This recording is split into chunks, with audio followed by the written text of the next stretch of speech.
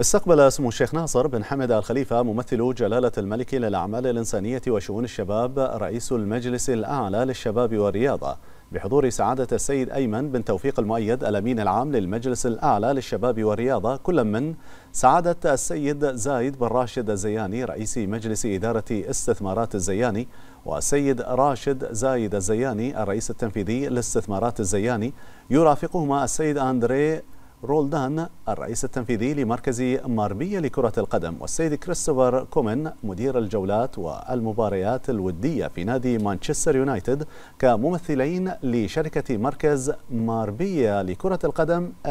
FC. وخلال اللقاء استمع سمو الشيخ ناصر بن حمد الخليفة إلى شرح مفصل من شركة MFC حول سبل التعاون في مجال السياحة الرياضية حيث استعرضت الشركة خبرتها في إعداد وتصميم المراكز الرياضية الضخمة والمرافق العالمية لجذب الرياضيين والفرق من جميع أنحاء العالم للتدريب وذلك قبل المواسم الرياضية من ضمنها تجهيزات متخصصة للتدريب والتعافي والعناية الصحية ضمن بيئة شاملة تلبي احتياجات الرياضيين المحترفين.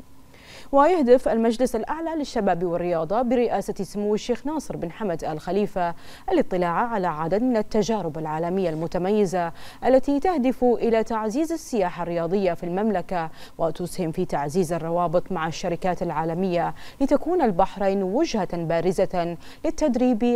على الأداء والسياحة الرياضية. ما يجعل منها أرض خصبة ورئيسية للتدريب النخبوي في الشرق الأوسط.